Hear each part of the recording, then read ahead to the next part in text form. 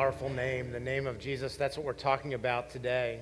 I want you to be thinking this morning as you gather together about who you are. What's your identity? What do you believe about yourself? What do you know about yourself? What have others told you about yourself that you know to be false? What have others told you about you that you know to be true? But above all else, what is it that God says about you? The one who created you, the one who give, gave you life. What has he given you? Let's pray. God, may we know the name that you have given to us. May we know it well, and may it direct our identity. Lead us this morning as we worship you. Help us to see you, to honor and glorify you. Continue to live prepared to kneel before the one whose name is above every other name, and that is the name of Jesus. In Christ's name we pray. Amen. In Christ's name we pray. Amen.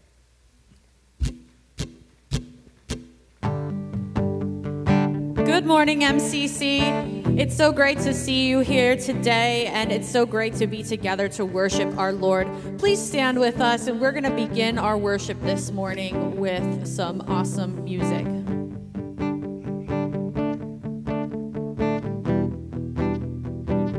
Blessed be your name.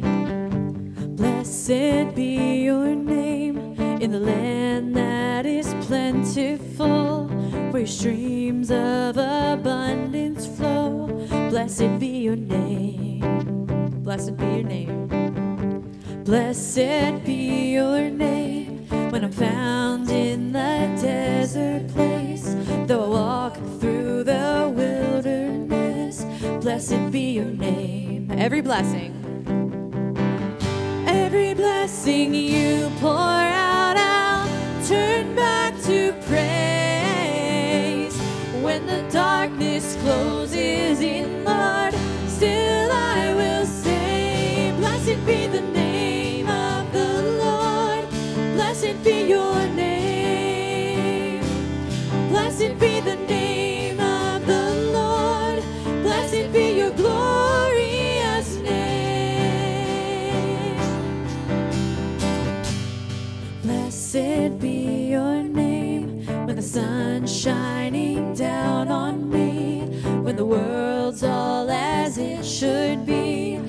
Blessed be your name. Blessed be your name. Blessed be your name on the road marked with suffering. Though there's pain in the offering, blessed be your name. Every blessing. you Pour out. Every blessing you pour out, I'll turn back to praise.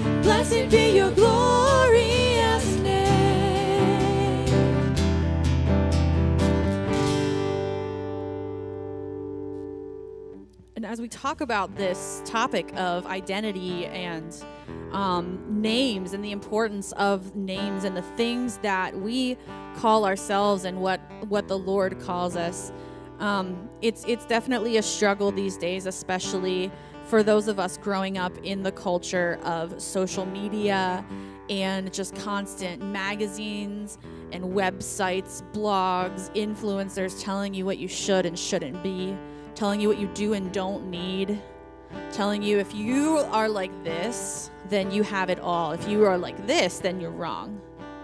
And that causes so many issues for us when we look for our identity and for our um, worth in things other than Jesus Christ. Um, it often leads us down dark paths, and I'm definitely somebody who can um, attest to that. And I know a lot of you in this room are as well. Um, so, as we go, Pastor Craig was saying this morning, to consider where you place your identity. Do you place your identity in the name brand purses that you have? Do you place your identity in um, how much you can squat or how much you can bench? Do you place your identity in your jean size? Do you place your worth on those things? Guilty. Sometimes. So I would encourage all of us this morning to, as we sing these songs, like I was saying, really consider laying those and giving them up to Christ because He is the only thing that can fill that void in our souls that we're missing, that we think we need to fill with stuff, and we think we need to fill with improving ourselves, uh, we think we need to fill with changing the way that we look, um, changing the way that we act.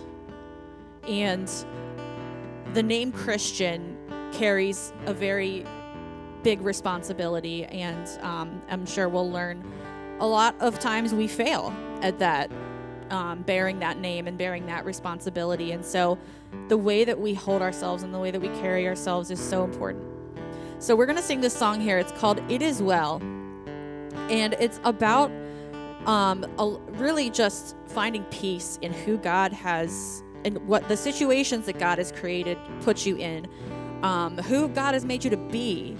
Um, just finding peace in that and accepting it and trusting that He is in control of it all. The waves and the wind know His name, the rocks bow before Him.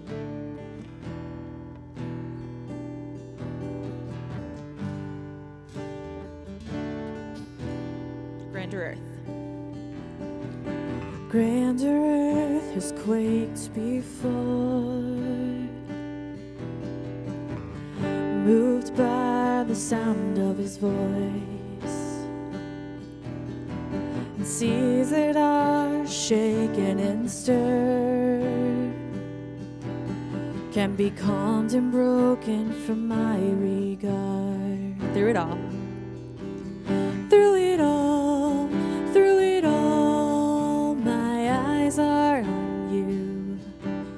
Through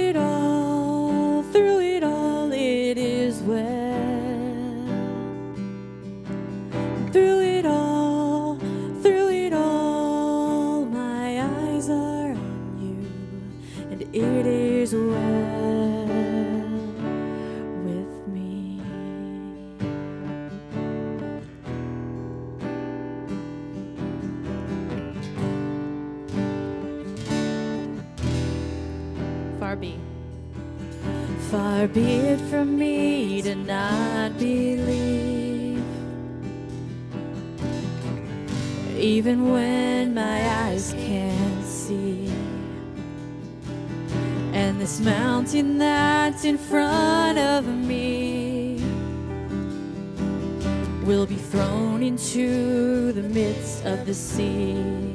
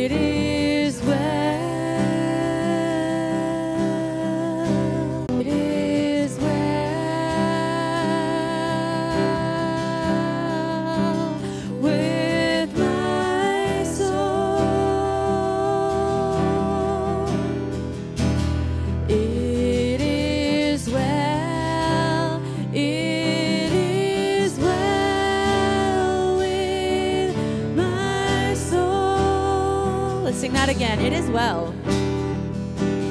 It is well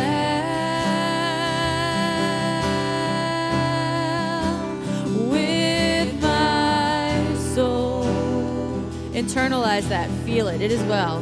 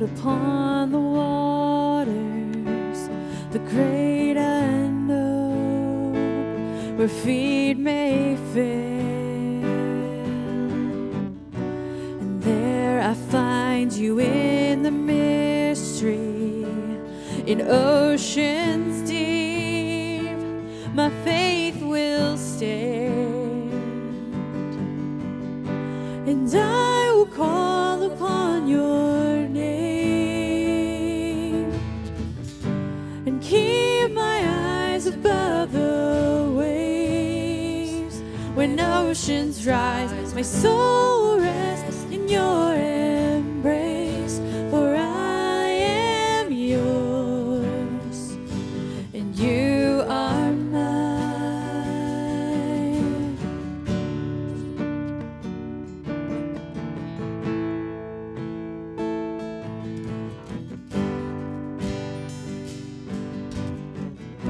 Your grace abounds in deepest waters. Your sovereign hand will be my guide.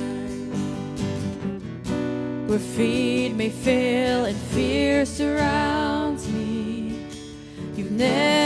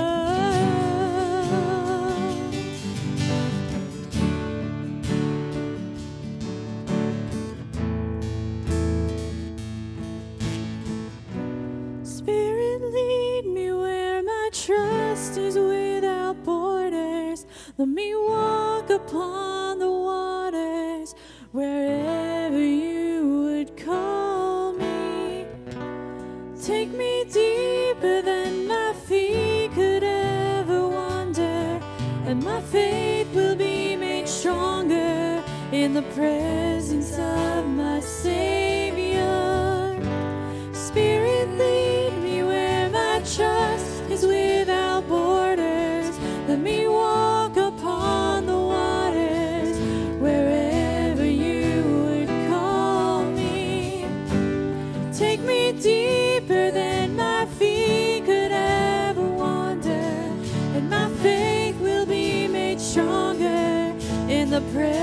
presence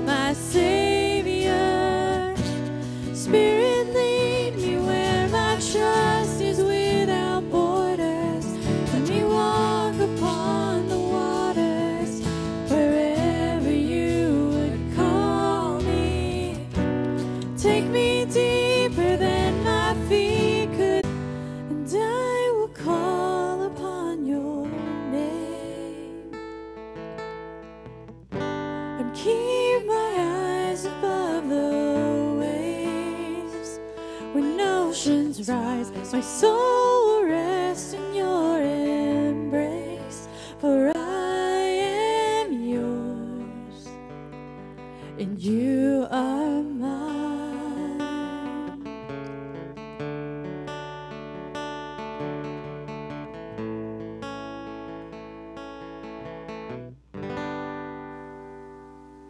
Amen. You can go ahead and be seated.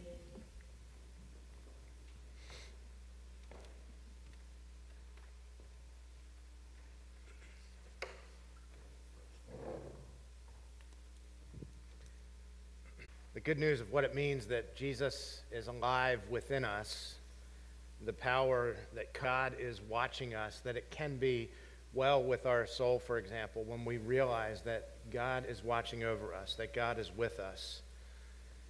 The power that comes when we recognize that no matter what wind and waves may be blowing in our lives, God is. He calls us to think about the gifts that we have been given as Christians, and we're going to talk about what that means today. What does that name Christian mean? We've been given this great gift to be called followers of Jesus, and in that, to recognize that not only are we those Sunday mornings, but we ought to be thinking about that every day of our lives, for every day is a gift from God. The scripture lesson, as we continue in the book of Acts and we talk about the power of a name, as we continue in, in our journey on wilderness and think about suffering in this life, we read today in Acts chapter 11 about the early believers. They were known up until this point in the book of Acts as followers of the way, um, followers ultimately of Jesus or the Christ. And so, as followers of the way, they had begun to face some persecution, largely around the time of Stephen's death and beyond. That's when persecution really began to set in for the church, and there were many who were being killed because of their faith. And so we pick up here in Acts chapter 11 and we read this. Meanwhile, God's blessing, he was filled with joy, and he encouraged the believers to stay true to the Lord. Barnabas was a good man, full of the Holy Spirit and strong in faith, and many people were brought to the Lord. Then Barnabas went on to Tarsus to look for Saul. When he found him, he brought him back to Antioch. Both of them stayed there with the church for a full year, teaching large crowds of people. it was at Antioch that the believers were first called Christians. Let's pray. God, help us to understand what it means that believers, followers of yours, were called Christian that day and from that day forward. Help us to understand the significance of our name in Christ. Speak, Holy Spirit, according to your plan and purpose for everyone who is gathered here and for this, your church, for it belongs to you. And we give you thanks for that in Christ's name. Amen. so on Monday, a friend of mine, Scott, I, Scott um, and I are kind of two of the original members of my Myrtle Beach team that goes down to play golf in February, um, every February. And um, Scott and I are good friends, been longtime friends. And um, my friend Scott texted me on Monday and uh, told me, he, first he had texted me last week and asked me to get our lay pastors involved with praying for him, particularly for his daughter. And his daughter was due to have a C section on Monday. She lives down in Florida, and there were some potential complications with the birth and all of that. So, so he had asked me to be in prayer for him, and so I was praying for him. But he texted me on Monday um, in the early evening to, and of course, there were a couple pictures with it of his new grandson and it was it was awesome to see. Now his grandson's been in the NICU all week, but is now I understand. As I got a text from him last night, grandson is finally eating, and he's out of the NICU, and so on his way home soon, and you know answered prayer. So it's good good stuff. And so I've seen pictures as Amanda, his daughter, sends them to Scott, and then Scott forwards them on to me, and uh, it's a real blessing to to be part of that. But on Monday, when Scott texted me about the birth, I immediately called him and I'm like, yeah, great, great news. And we're, you know, we're praying for your grandson. What's his name? I said. And he said, well, he doesn't have a name yet. And I said, come on, man, there's no name yet. What's your daughter doing? He's got to have a name, right? He said, well, they've had nine months. And so Scott was kind of itching to get a name for his grandson. And I was kind of wondering, what, what is this name, you know, that, that they're going to give him? And so middle of the week, I guess it was maybe, maybe the next day or maybe Wednesday morning, I texted Scott. It's like, what's the name? He doesn't have one yet, but they're, you know, between three names now. And so he was telling me the three names. And finally, on Thursday, when I asked again, he said, his name is Owen Lawrence. And so we give thanks for Owen Lawrence being born into the world. Lawrence w- was given his name. I asked him, you know, why? Why Owen Lawrence? And, and he said, well, Lawrence is related to his dad's name. His dad is, is Larry, so so that's kind of cool, right? You know, and we give names based sometimes on a parent or a grandparent or somebody significant in our lives. Um, but why Owen? And Scott wasn't quite sure why Owen. And so I decided, because I'm interested sometimes in names, I decided to, to look up the baby name meaning of Owen. Now, this was not why his parents named him Owen. They just kind of liked the name. And we do that often in our culture. We hear a name and we like the name, and so we give that that name to the, to the child. Um, but sometimes there's, there's meaning in it. And so I, I Googled it, and I, I was anxious to tell Scott the meaning of his grandson's name. It can mean noble birth, but it can also mean youthful warrior. And I thought, here's this baby who's been fighting for life this week in the NICU, and his name is Youthful Warrior. I thought that's pretty cool. It's a great connection. So I was glad to tell Scott that. He took, took some uh, joy in hearing that. Um, and again, good news is Owen is now out of the NICU and I believe is coming home either today or tomorrow. But that's, that's good news. But names can carry great meaning in life, and they can speak to our lives. They can have great intention. There are many cultures that name their children with great intention, not based on a name that they like, but based on what that name will mean. And that's very often true in the Bible, where we'll read in the Bible somebody's name and it'll give us the meaning of that name. Because in many cultures around the world throughout history, names were given with purpose. And I think there's one in particular um, that I thought about when I was preparing this sermon this week that I think has impact for us today. So I went back and I looked in 1 Samuel chapter 1 we are told about Samuel's name. Now, I'll tell you about Samuel's name in a minute and what it means, but I want you to think about how all this went. There was a man named Elkanah and his wife Hannah in 1 Samuel. Great story in, in the Old Testament. Um, and, and Hannah was barren. And she prayed and pleaded and wept before God for a child to come, to, to be born through her. She wanted desperately a child. She would go up to the temple every year and pray. And in one of those encounters at the temple, she met Eli, the high priest. And uh, Eli, the high priest, thought for a while that she was drunk because she was praying, but no, no noise was coming out of her mouth. She was praying silently. But in any case, um, Eli met her and, and talked with her and, and then told her to go in peace. And through that prayer time and through that encounter, that year Hannah became pregnant with a baby in her womb. And she then weaned the baby and then did what she promised the Lord in that prayer when she you know, had the encounter with Eli, which was to come and dedicate the child to the Lord. She would leave the child once the child was weaned. She would leave that child with Eli and leave him at the temple. That's a big step to do. Samuel, by the way, if you know anything about um, Samuel, Samuel was the first uh, priest of God to anoint the first kings in Israel. He anointed Saul and he anointed David. That was Samuel's job. Now, you might think then that in all of this, if we're reading the story and we look ahead and we see what Samuel's life would be in terms of eh, eh, being a priest of God, in terms of being a great leader who would anoint the first kings of Israel, you might think that Samuel's name means something like great leader or priest or something like that. But here's what Samuel's name means according to 1 Samuel 1, verse 20.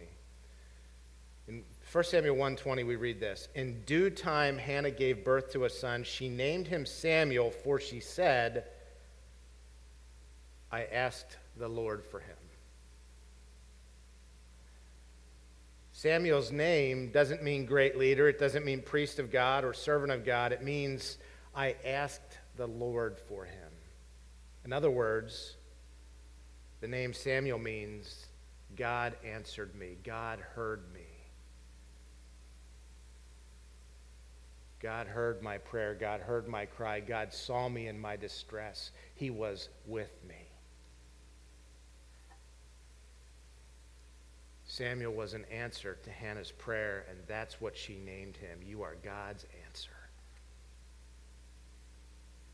Now, that, for me, is significant when I think about the name Christian. What do we recognize about God? The slide that you see up here today speaks to the many names of God. All of those names are assigned to God because they mean something very specific and important. And sometime perhaps we'll do a, a maybe a sermon series or something, or maybe a Bible study on those names. But we learn in those names that God is, for example, creator, protector, provider, healer, advocate, comforter, lover, and savior. But one of those names that is assigned to God is actually assigned to Jesus. The name Emmanuel means that God is with us. What happened to Hannah when she was crying out in distress, feeling alone, feeling like she was empty? The world told her that she was nothing because she was a barren woman. And in that culture, to be a barren woman was to be like nothing. At least that's the narrative that the culture would have put upon her. And she cried out to God. And what she realized is that God has been with me all along. God has seen me. God is with me. God answered me. Samuel. My son Samuel was born. Friends, when we think about what Hannah learned and what we learn is that no matter what, God is with us. Now, I know in this life, there are moments when it seems like God is nowhere to be found. The pain and the suffering that we can experience in this life can just drive us down to deep, dark despair and loneliness. But I was reminded as I was preparing this message of a passage, a chapter in Scripture that is uh, um, has been very important to me through the years and that I share with people quite often um, in times when they've lost a loved one. I often will share this uh, chapter, or at least portions of it, at a funeral service or memorial service, and that's Romans chapter 8. Paul writes quite extensively in Romans about suffering that we experience in this life, but in chapter 8, I think he brings it all home and helps us to understand who we are in our identity. Paul reminds us there that there is no condemnation for us when we are in Christ, when we bear the name Christian, when we are followers of Jesus. There's no condemnation for us. He goes on to remind us that, that when things are falling apart in our lives and when we go to pray and we can't even say anything, after we have cried out to God, after we have yelled, after we have quietly prayed, after we, like Hannah, maybe just silently prayed and we couldn't even get the words out, Paul reminds us there in Romans chapter 8 that the Holy Spirit prays on our behalf. We're reminded in other scripture that Jesus is our advocate in those times, that he prays on our behalf as well when we can't think of the words to say. He reminds us there that we are children of God who can cry out to Abba, our Father. You can pray, Help me, because I am yours. He reminds us there in Romans chapter 8 that we are chosen by God and that we belong to God. And he reminds us in that that even though we suffer in this life through grief, through wildernesses, through false narratives that people write about our lives or that people put upon our lives, though we suffer in various kinds of ways through grief, sadness. He reminds us in Romans chapter 8 that God is working all of those things. God sees all of those things. God sees us in every one of those moments, and He is saying, I am with you. I'm going to take those things, and I am going to bring good out of them. And sometimes, friends, it's hard to see the good that God is going to bring. It's really hard sometimes to understand. And yet, He promises to be with us. He didn't promise us a pain free life, but He promised to be with us in the midst of that pain. Just like Hannah, just like us at times. Then he goes on to tell us that because God is for us, nothing can ultimately stand the test of time against us. Everything that comes against us will eventually fail and falter when we bear the name Christian. Again, that's hard. It's hard to see, but God is with us. He promises us that. And then he concludes the chapter by telling us that there is nothing in heaven or earth that can separate us from the love of God that comes in his Son, Jesus, for us. Nothing in heaven or earth that can separate us from his love. And while I know hearing that can feel empty at times in our lives, the truth of that can undergird us and sustain us through some of the worst circumstances that we could ever imagine. Think about it. When Christians were first assigned this name Christian, and I'm talking now, Romans chapter 8, about what it means to be Christian, that God is with us. Everything that Paul says in Romans chapter 8 is about what it means to be Christian. When Christians were first assigned that name, here's how the text began. Meanwhile, the believers who had been scattered throughout who have been scattered during the persecution after Stephen's death. The whole narrative here is, is put in this understanding that those Christians were suffering great in great ways. They were being killed for their faith. They were being put down. They were being told they were nothing. But they knew who they served. They knew who their Lord was. They knew their name as followers of the way, and now they had a new name Christian followers of Jesus, followers of the Christ. Christians were first assigned that name Christian in a time of great persecution and suffering. And that's why it's so vital for us to understand what our name is as Christian. Think about it when a person is baptism, looking forward to that. Um, Aubrey Grimm will be coming for baptism, granddaughter of the Grimms over here. And um, we're just excited about that. I met with Aubrey's parents this past week, and what a joy that is. And we think about it's all about taking on a new name. What do we do when we when when a child or an adult is baptized? We say, "I baptize you in the name of the Father and the Son and the Holy Spirit." We take on a new name as followers of Jesus. We should think deeply about that name because it gives us our identity in the midst of difficult times in life. As we think about that, we live in a culture that assigns us names based on what it wants to say about us. Others around us think that they have the right to name us, so they call us names based on maybe we have a different political persuasion than they do, and so they come up with a nice, cute little name to call us, whatever that is.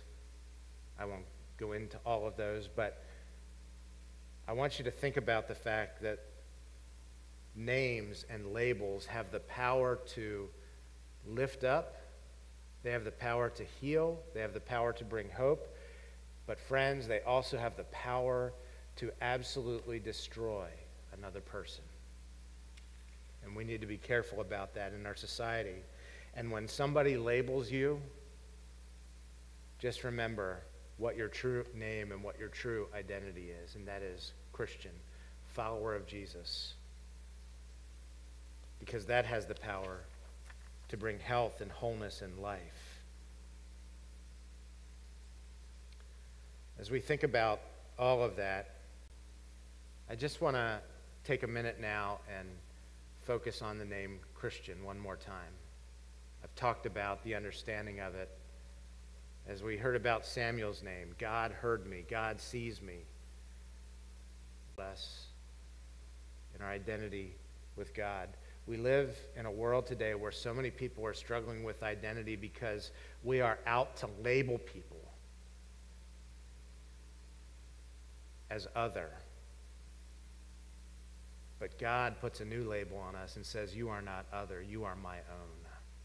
You belong to me. The power of the name Christian is that it helps us to recognize that we are part of the family of God. Paul said it in Romans chapter 8 we are children of God. He makes that very clear there where he says we can cry out, Abba, Father. He makes it very clear in Romans chapter 8. Uh, and I encourage you to study that chapter, read it. It's a powerful, powerful identity marker for us. Helps us to see just who we are. Paul does such a masterful job in that chapter to help us to see just who we are in a world that wants to tell us false things about who we are. God wants to tell us the truth about who we are. That's why I started today talking about listen, some people are going to say certain things about us. What are people saying about you that's false? What are people saying about you that's true that maybe you need to listen to? What are people saying about you? But then take all of that and set it aside and ask, what is it that God says about me? God's love letter to us came in the person of Jesus, and it is through Jesus that we get our new name, that we get our new identity, and that we realize just who we are. It's been such a meaningful study for me this week because of things that swirl around in my life at times. And I'm so deeply grateful that I could be reminded of just who I am. I'm not that, whatever others have said, but I am this child of God, loved, beloved of God.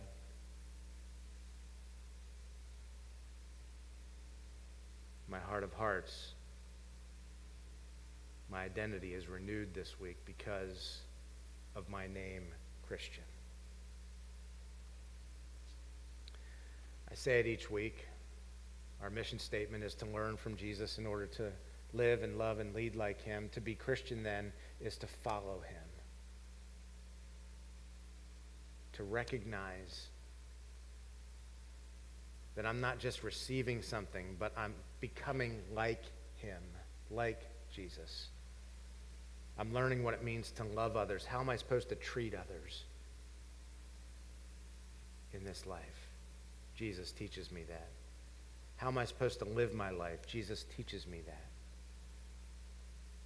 So many others will tell me how to live life, but only one voice can tell me the truth about how to live my life, and that is my Lord, my Savior. And oh, by the way, my brother. Remember that. The one who came to die to save us, the one who is Emmanuel, God with us, says to you and to me, You are my sister, you are my brother. We are sisters and brothers of Christ. That's what the name Christian means. And I am resolved. I am resolved today to believe that about myself. And I hope that you're resolved to believe that about yourself as well.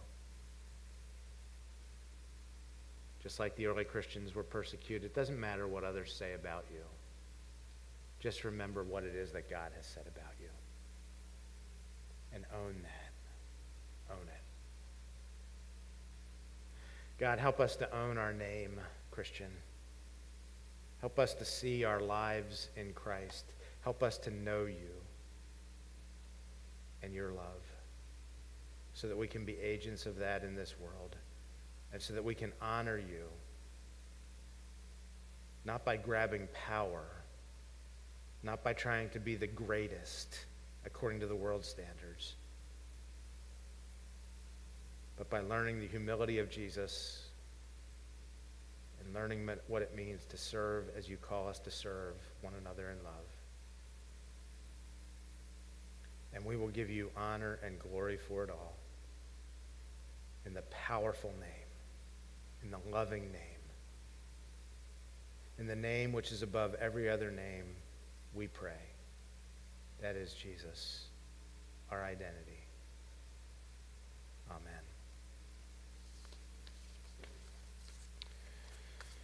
Today, we're going to take a little bit of time and do some couch talk, and I'm going to invite Elliot and Brad to come and join me here.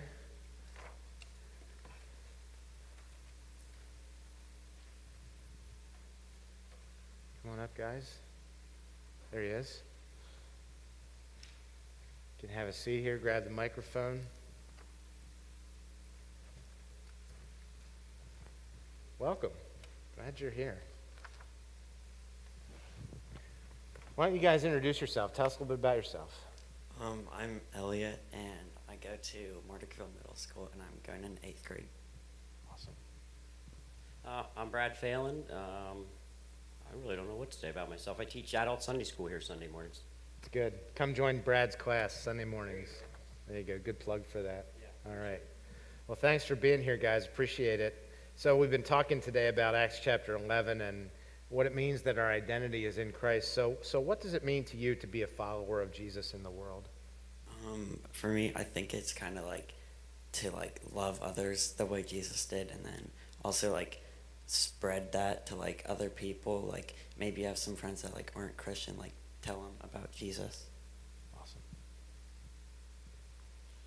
i like what you just said up there about uh, a lot of the world will try to tell you what it means and i never really thought about it like that but you're right um, for, for me it, it, it means that we allow him to be lord um, like we, we acknowledge his control we have, we have to relinquish our own um, like elliot said we want to be like jesus well, we want to emulate it. We, want, we need to conform our actions and our thoughts um, and our lives to those that we see in Jesus. And then we're to call others to follow Jesus too. Uh, it's all about making disciples. Um, at, le- at, least recently for me, that's the big one. To be a Jesus follower means I'm supposed to go and make other followers, to walk alongside them, to, to show them who Christ is to me. Yeah, thank you guys. You both kind of hit on that, um, that, that as we are disciples, we are also called to lead others into discipleship. And I appreciate that, that theme because that's exactly what we're supposed to do. We're supposed to represent Christ well in the world, and, and um, you, you both hit on that. Um, so when we think about uh, that calling, how can we protect, serve, and love those with names that are used to, to persecute them. In other words, afterwards, he was kind of like, I guess some people were like being not nice to him or making fun of him. because like they just also we were playing like kickball, so like they wouldn't pass to him at all. So like he kind of felt left out. And then I talked to him, and then I told the gym teacher, and then um, I asked if she could put me specifically on his team next time, so then like I could like pass to him and more stuff. So and then kind of help him out. That's awesome. Thank you. That's I love how we can just tell a story, and there it is, right there. That is a great story. Um, th- this I struggled with a little bit. I'll be honest. Um, and, and then it turns out that I have I have a good bit that I want to say. uh, for, first, I I have written here just from what you were talking about a little bit ago is that labels can lift people up also. Um, and, and, and I wrote down there king, queen, because there's a there's a certain group of people who have taken those words and, and I see the empowerment that they get from looking at themselves as kings and queens. And, and I've thought that's incredible, to be honest. Um, words can be can be real bad. Um, and, and at other times, I've also seen these negative words be embraced by the groups, and they lose all power, like immediately. I always thought that was so interesting that the minute these people don't let it affect them, it goes away. There's no power left in the words. Um, first, I have written here we have to stop laughing at all the off color remarks, the snickers and the giggles. And, and, I know it's terrible, but we all know it happens. Um, whether we feel awkward and don't know what to do, so we just kind of giggle protecting and serving and loving people being persecuted by name calling, it often means going against the grain. It means being that only person in the group. Uh, you might be a lone voice, and, but, but it's not as hard as you think. Uh, a, a, simple hey. They're not going to say it again, but uh, most of the time, a simple hey can speak volumes. And it's very difficult today because it's no longer a common thing to stand up for each other. We just don't. Uh, it's easier to just ignore it. But, but it, ignoring it can be just as bad as committing the injustice itself. It, it's never okay to be a part of the hate. So for me, I, I think the simple answer is what Elliot already said it's love. Uh, to me, love means putting yourself second. That if we love those being persecuted, standing up for them would be automatic. And I just think about what happens inside of me. Like if something says something, somebody says something about my child or my wife, why don't I feel that way with everybody? Because I don't love them like I love my child and my wife. But but I think we need to sit down with the family and talk about the baptism questions. But um, the, the baptism questions that we, that we follow, and since I mentioned baptism this morning, I just want to follow up on this. You know, the baptism questions um, are, you know, do you recognize that there is sin in the world and sin in you? There's evil, injustice, and oppression in the world, and there's also that in you. And then do you recognize, secondly, that God gives you the freedom and power to overcome that? And I've often used, particularly with students who would be um, coming for baptism, probably about your age or, you know, um, uh, somewhere in that, uh, you know, late elementary, early middle school age, if they were coming for baptism at that point in time. Um, I, w- I would talk to them and use a similar story. Like, so you're on the playground at recess and you see a kid being bullied, and, and what God is doing is He's giving you the freedom and power to help overcome that by making a difference, by befriending that student. That's exactly what you talked about. And then, Brad, you followed up um, in some very practical ways of, of talking about how, how we need to make an effort to do the kind of loving thing that God calls us to do, that God gives us the power. How have you handled that? Um, kind of, yes. So, like, it was at school. So, like, um, I was just kind of hanging out with, like, some friends. And then they were like kind of talking about something, and then like my one friend, he was like, "Oh, you can't say that around Elliot. He's a Christian," and then I was kind of like, "What?" And then like, and then I guess like they just go off and talk by themselves, and so like then it kind of makes me feel left out. I, I so appreciate that, and I'll say why in a minute. But go ahead, Brad. Talk to us. No, that, I just I so appreciate that, and I've said it before. That kind of stuff happens to me all the time as a pastor. Oh, the pastor's here. Oh, I, can, I can only imagine. Don't say that. I really can. Uh, I, No, I don't know if I've ever experienced what I call real injustice. Um, but, but I am pretty open to the world about my faith. Um, I mean, my wardrobe, uh, everything about me. My car's got stickers. So, so it's out there for anybody who wants to look at Brad. Um, so I've gotten comments, jokes that were aimed at me or my faith in general. Um, at work, I've got stickers on my hard hat. That's probably where most of the comments have ever come from. But it's okay. Um, I, I don't let it bother me because I don't care. Like you had said, I, I don't get my identity from those people. I know who I am. Jesus shows me who I am. Um, I ignore it, like I said. But, but I think what happens outside of that situation is, is my words, my actions show them something other than what they are, are commenting on. Um, and, and then they get to see, sorry, they get to see Brad for real. And, and the good news is people remember what they see a whole lot more than they remember what they hear.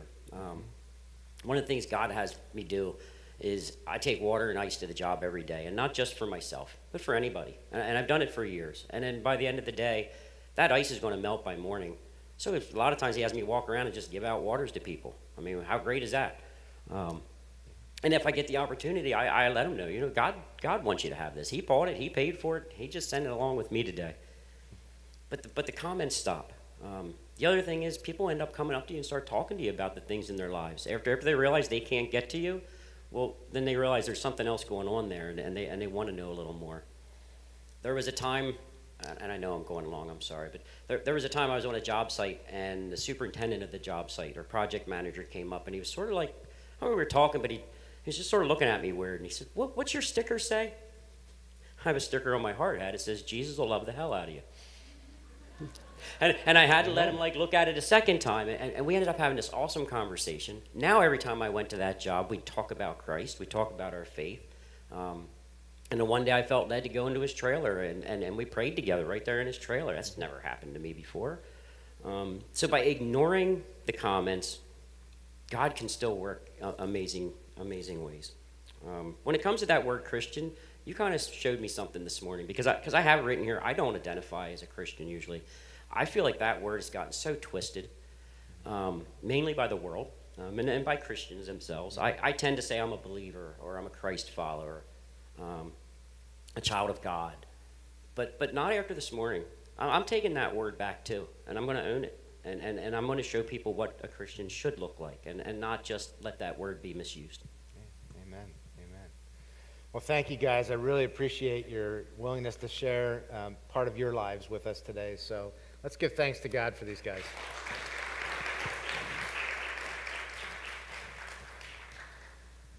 So as the team comes and uh, comes back to lead us in our closing song, I hope that you'll be thinking about what does it mean to be Christian.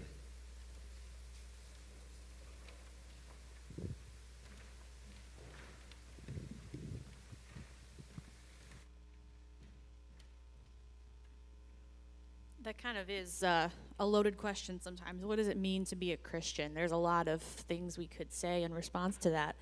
Um, and I really appreciated the dialogue from Elliot and from Brad up on the couch this morning. Definitely gave lots of things to think about. And um,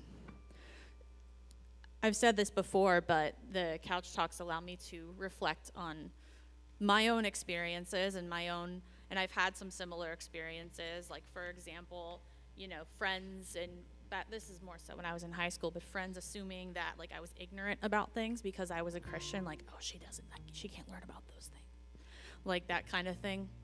And who are they? So and yes, we are called to love them and we're called to minister. They don't get to tell us who we are. That's Jesus. That's why we're here because we learn about him every week and we find it so important to learn more about God and about the person of Jesus Christ that we take two hours, three hours out of our Sunday morning every week or almost every week to come and to gather and to learn that. And so I definitely did lots of thinking. And Brad, I like how you were talking about reclaiming the name Christian because I found myself doing something similar kind of moving away from the label Christian and calling myself like a Jesus follower or Christ follower. Christian. Sometimes I don't feel like getting into all of the, oh, but don't worry, I'm not that kind of, you know. So, but I definitely appreciated, Brad, your perspective on that. And actually, when you talked about your stickers, I want to show you my guitar pick really quick. It says, pick Jesus. Because, um, and on the,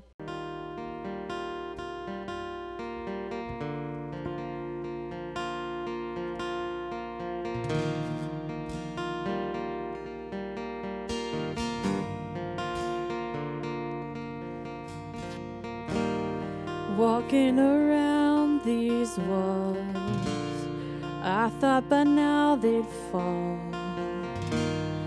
but you yet. Waiting for change to come, knowing the battle's won. For you have never failed me yet.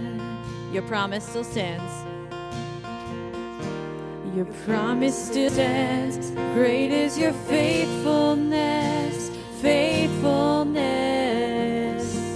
I'm still in your hands. This is my confidence. You never failed me yet.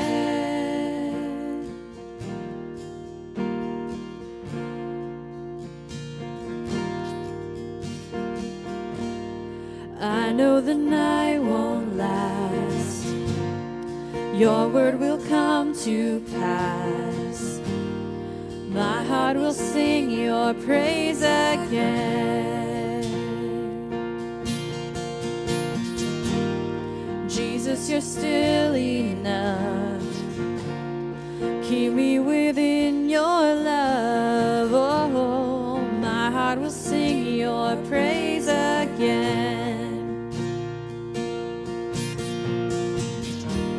Your promise still stands. Great is your faithfulness, faithfulness. I'm still in your hands. This is my confidence. You confidence. You never fail. Your promise still stands. Great is your faithfulness, faithfulness. I'm still in is my confidence. You never failed me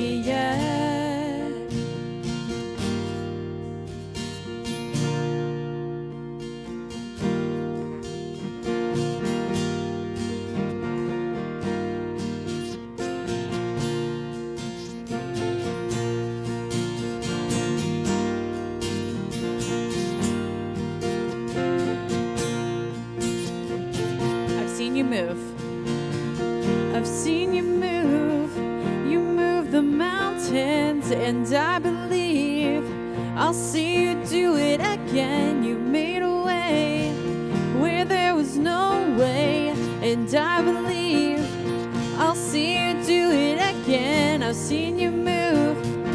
You move the mountains, and I and you made a way where there was no way, and I believe I'll see you do it again. I've seen you move, you move the mountains, and I believe I'll see you do it again. You made a way where there was no way, and I believe I'll see you do it again.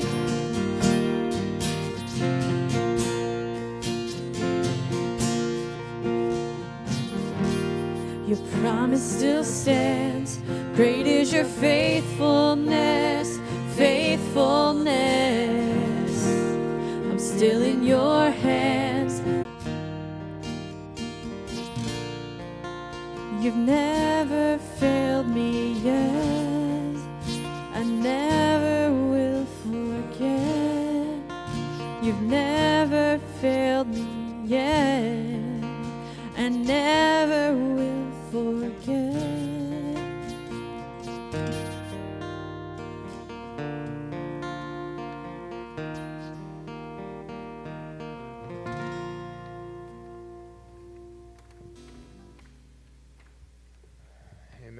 so, as we think about opportunities that we will have this week to go out into the world and consider where we will live, who we will live among, we think about ways that we can serve Jesus well because he gives us our identity. So think about that as you prepare to go out into the world today. A couple of quick announcements. The campus cupboard food and toiletry drive is now running through the month, uh, through this month, through the end of August. Um, the campus cupboard cupboard actually helps to provide needs for Millersville University students of food. So make sure that you um, get one of the shopping lists that's available in the laundry. Do some shop in- the lobby, not in the laundry. the laundry. I had two loads of laundry yesterday. That must be on my mind. I don't know, you know? Uh, in the lobby, Um, and, and you can uh, take that list and um, serve a need in our community. And in that way, you'll be serving Jesus and you'll be carrying his name well. Also, you can help with the Mission Thrift Shop sales days. They're here, they're happening now. There's a flyer in the lobby that will tell you more about that. Um, you can find out information like that on your e blast or on the What's Happening page on the website. And if you don't get that, contact Laura in the office and she'll make sure that you get that um, for you into your inbox. And so let's go out into the world and let's serve Jesus well. Go in his love. Amen.